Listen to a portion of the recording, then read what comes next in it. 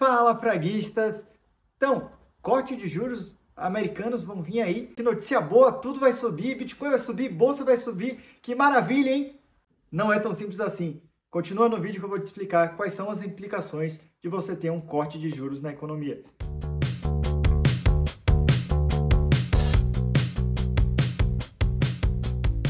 Então, o que é juros? Juros nada mais é do que você trocar um capital presente por um capital futuro. Você trocar o dinheiro de hoje pelo dinheiro de amanhã. Alguém que vai te prestar um dinheiro hoje, ele vai querer ganhar um pouco mais por estar abdicando esse capital no presente para estar recebendo só no futuro. Por isso que surgem os juros. É o capital, o custo que você tem por não ter o capital na mão hoje. E nisso tem várias coisas que são embutidas no custo dos juros, como por exemplo o risco.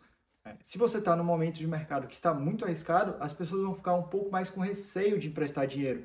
Então, os juros vai subir ou deveria subir.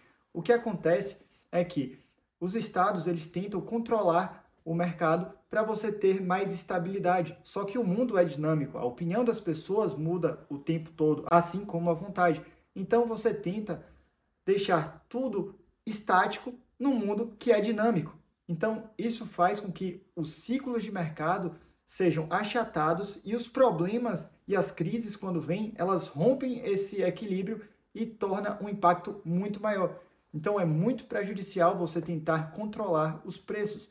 E ainda mais hoje, em ano eleitoral. Então, é muito engraçado como as pessoas é, não percebem isso. A gente está há três meses da eleição, né? estamos agora aqui quando está sendo gravado esse vídeo em agosto, e em novembro, 5 de novembro, vai ter as eleições americanas.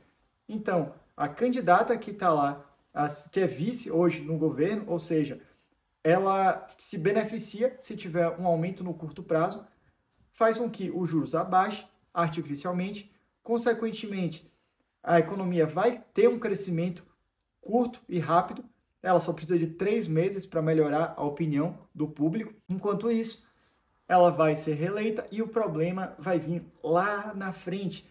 Então, é sempre esse jogo de você empurrar o problema para frente e ainda mais em ano eleitoral. Mas tudo não vai subir? Que coisa maravilhosa!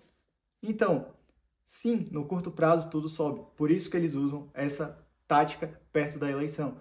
Então, a tendência é que a bolsa suba, o Bitcoin suba, o mercado fique mais animado só que você está gerando uma sinalização falsa para o mercado. Não existe como o controle de preços funcionar. Porque imagine o cenário: as pessoas estão sentindo que está mais arriscado, elas estão querendo já emprestar menos. Então, se você gera um desincentivo para você emprestar o capital, ou seja, você não deixa com que os juros naturalmente suba, você está impedindo que pessoas queiram estar tá emprestando capital. Os juros mais altos, eles estimulam pessoas a colocarem capital emprestando. Então você tem esse estímulo para o empréstimo, para as pessoas tomarem esse risco. Enquanto que quando você tem um juros mais baixo, você está desincentivando as pessoas a quererem emprestar. Consequentemente, vai faltar capital para empréstimo. No curto prazo, não. Todo mundo vai surfar nessa onda. Mas no médio e longo prazo, você vai ter esse efeito que sempre acontece com todo o controle de preço, que é a escassez. E, como consequência, a escassez vai gerar um aumento de preço maior do que o que você deveria ter tido normalmente no mercado. Então, sempre que você tem uma tentativa de planificar a economia, você gera esses impactos no mercado indesejados, porque é impossível você deixar o mundo que gira estático. Então não tem como, em um mundo dinâmico, você ter medidas estáticas como o controle e o tabelamento de preços por bancos centrais. E como é que deveria ser feito então? Né? A escola austríaca de economia de Ludwig von Mises, Hofbauer, Hayek, Hope e de inúmeros nomes, elas trazem com que esse controle de, de preços não deveria existir, apenas o mercado agindo por conta própria. Porque quanto mais risco, maior vai ser a rentabilidade. Então vão ter mais pessoas é, querendo arriscar o capital se estiverem pagando mais. E aí, por estarem recebendo bastante, outras pessoas vão atrás dessa rentabilidade e aí os juros vai diminuindo por conta própria, pela oferta e a demanda. Então o mercado ele vai se, circu... vai se movimentar nesse ciclo e vai ter nesse momento um alívio nos juros mais altos. Esse é o fluxo, é assim que o mercado resolve as coisas. E é impressionante que a maioria é, dos chicaguistas, né, que são as pessoas que entendem que controle de preços é negativa, ainda vão ser defensores do Banco Central e do tabelamento de juros, o que não faz nenhum sentido. O que vale para uma coisa também vale para outra. O que vale para o preço do feijão, do arroz, da carne, também vale para o controle de juros, pelo preço dos juros do capital hoje, pelo capital amanhã. Então, é um produto como qualquer outro. É realmente o dinheiro, os juros, segue o fluxo de mercado. Eles não são descolados dessas dinâmicas. E isso é uma coisa que o Bitcoin tem de maravilhoso. Né? O Bitcoin não tem ninguém que controle suas cordas, que estabeleça uma taxa de juros, uma taxa preferencial. E está surgindo de uma maneira extremamente de acordo com o mercado. Está surgindo uma taxa de juros do Bitcoin pela rede Lightning Network. Então as pessoas elas colocam seu Bitcoin travado para dar liquidez para a rede e cobram uma taxa de juros. E o mercado vai regulando. Tem pessoas que cobram mais, tem pessoas que cobram menos.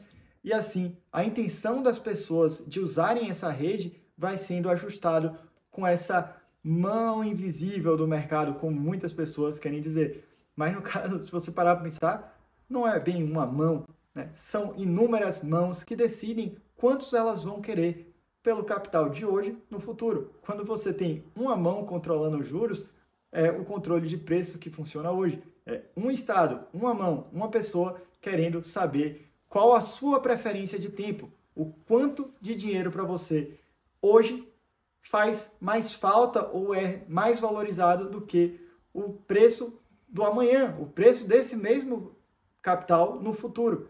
Não tem como um grupo de pessoas decidir pelo conjunto de toda a população individualmente. Cada pessoa sabe o preço do dinheiro hoje. Cada pessoa tem sua preferência temporal, sabe o quão melhor ter recurso hoje ou é melhor ter mais no futuro. Você pode ter aí na sua casa uma conta para pagar, caso contrário, vai ter que pagar é, multas e juros altíssimas. Ou outra pessoa que tem bastante capital e gostaria de ter uma rentabilidade maior no longo prazo, te emprestando um dinheiro para você pagar menos juros. Então, é assim que o mercado funciona. Quanto menos pessoas interferir no mercado, melhor você vai ter a dinâmica, melhores vão ser as coisas, menos custos, menos tudo. Então, além da gente estar tá pagando pelas decisões equivocadas dos políticos, a gente ainda paga o salário deles para tomar essas decisões equivocadas. Então, entenda sobre o Bitcoin, saiba como usar e continua seguindo aqui o canal, curta, compartilha esse vídeo com outras pessoas e vida, propriedade, liberdade e muitos satoshis no seu bolso.